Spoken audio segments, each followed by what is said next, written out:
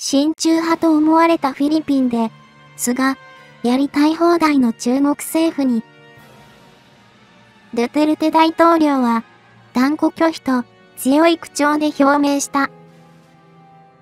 今回この、フィリピン政府の動向を詳しく見ていきますね。日本政府も強気で、やってもらいたい。親中派は無視していきたいものです。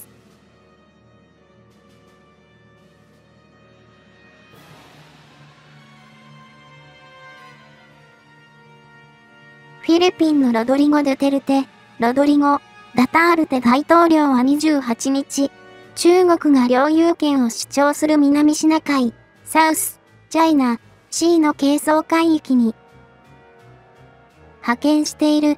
海軍と沿岸警備隊の巡視船を引き上げるつもりはないと、表明するとともに、フィリピンが同海域の主権を有していることに交渉の余地はないと強調した。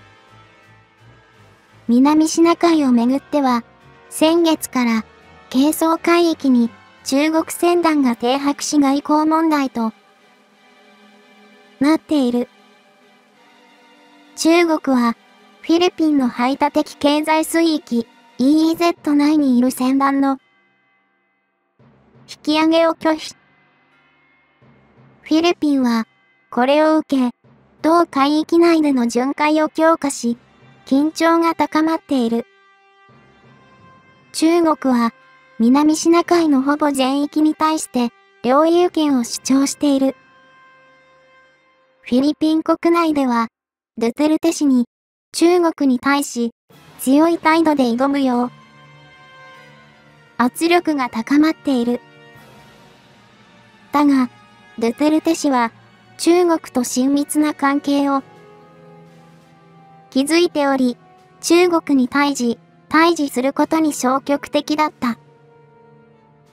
ドゥテルテ氏は28日夜、良き友人の中国には、新型コロナウイルスワクチンの無償提供など、様々な恩があるが、軽装海域の領有権については、交渉の余地はないと述べた。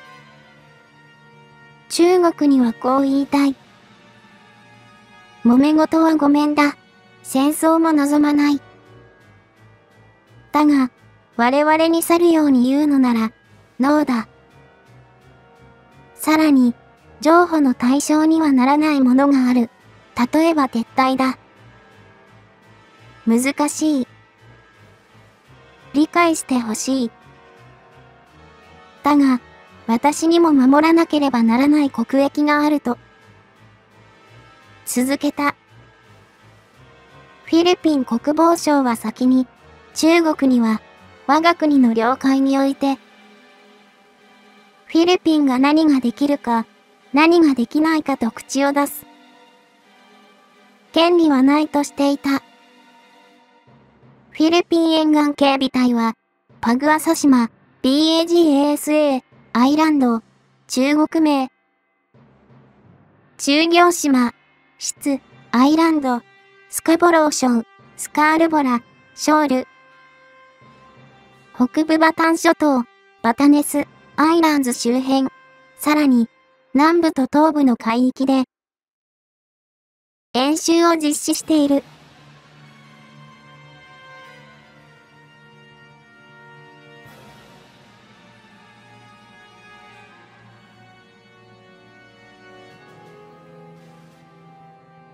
国民の反応です。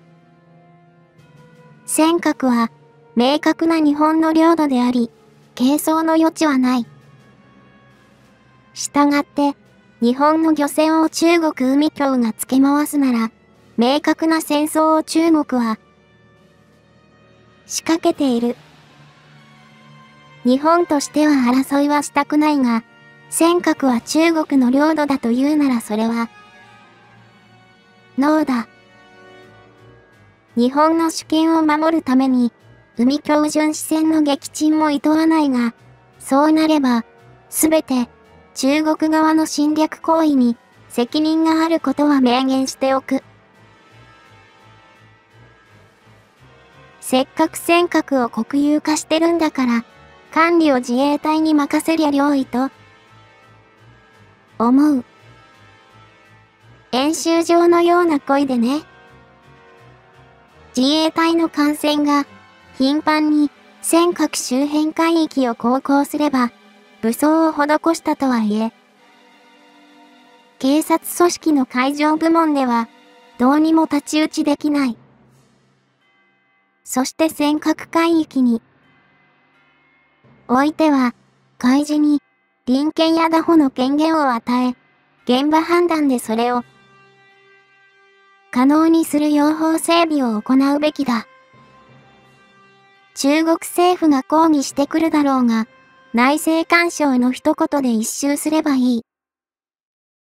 それでも噛みつくなら、香港を例に挙げて、こちらへの内政干渉を中国が、是とするなら、香港に対するこちらからの内政干渉も、是とするべきだ。中国とは、そんなこともできない小さい国なのか？と言ってやればよい。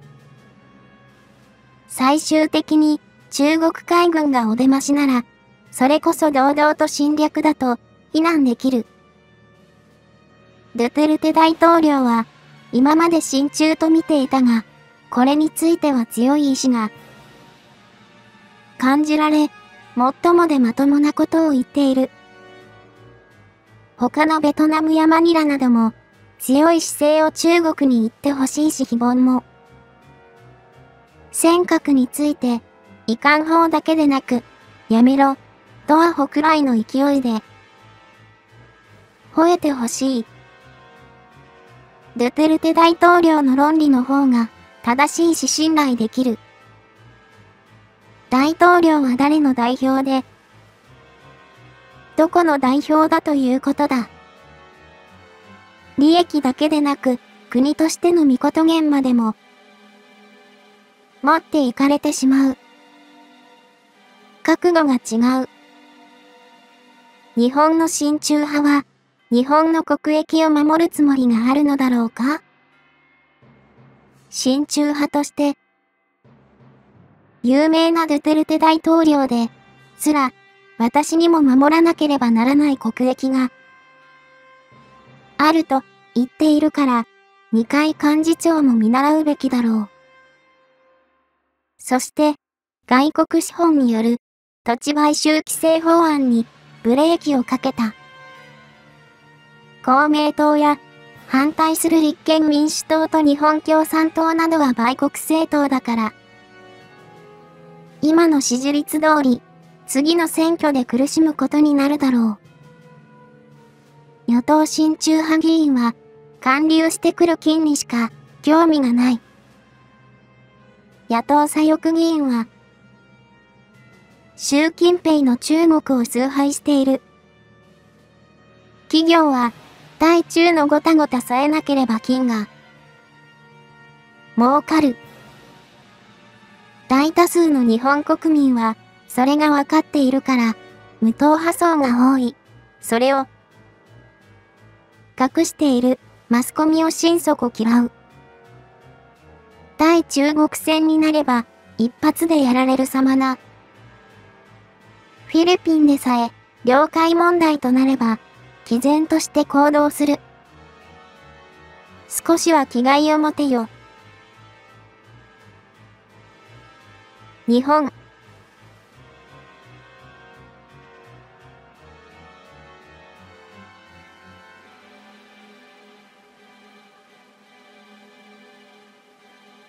ドゥテルテ大統領は国民に人気がある。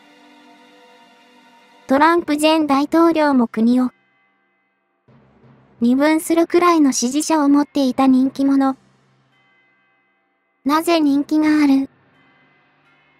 それは、こういった強気な発言、反論。言いたいことをはっきりと言う。日本の政治家にはない姿勢。特に、海外外交においては、いつも当たり、触りのないことを言って戦う姿勢を見せないまま、結果逃げまくる。いつでもいい子ちゃんでいたい日本政府。もういい加減にしてほしいと考える国民は多いと思うよ。確かに、ドテルテは国内で強い支持を受け人気がある。この発言は、フィリピン国内では有効。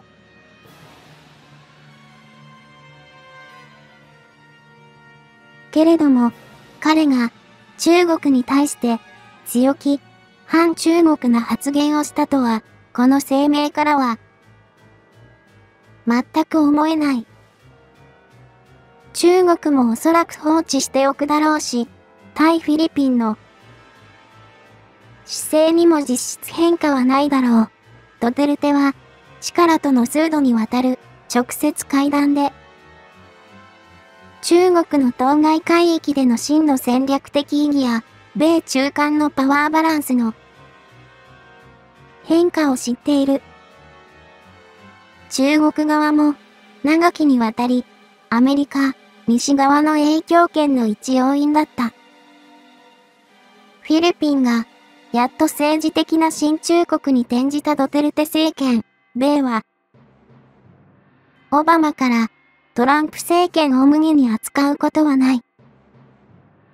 トランプが去り、バイデン政権下で、またもや軍産税、米単独派遣維持勢力が、活発化し、各国政府に、その強大な影響力を行使し始めた気配。